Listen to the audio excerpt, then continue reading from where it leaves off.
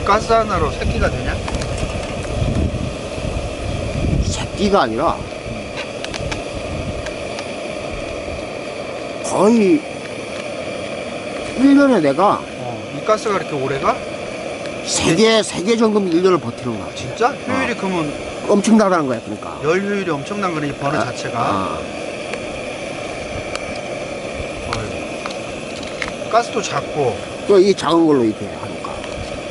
어이씨. 막 굳이 크고 들고 다닐 이유가 없는 거야. 그럼 저 작은, 작은 가 이게 전용이야? 전용 아니고 이게 작업한다니까? 그래? 어, 어, 훨씬 가볍잖아 작으면. 그렇지.